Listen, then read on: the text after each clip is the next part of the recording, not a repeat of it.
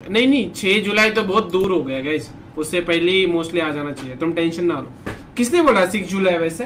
Hmm, इस week या अगले वीक नाइन्टी नाइन परसेंट तो इस वीक मतलब संडे तक मोस्टली देखता है। थैंक यू अरे कोई बात नहीं मन में। मैं आपको खुद डायरेक्टली बता दूँगा जब लॉन्च होना होगा तो। टेंशन ना लो।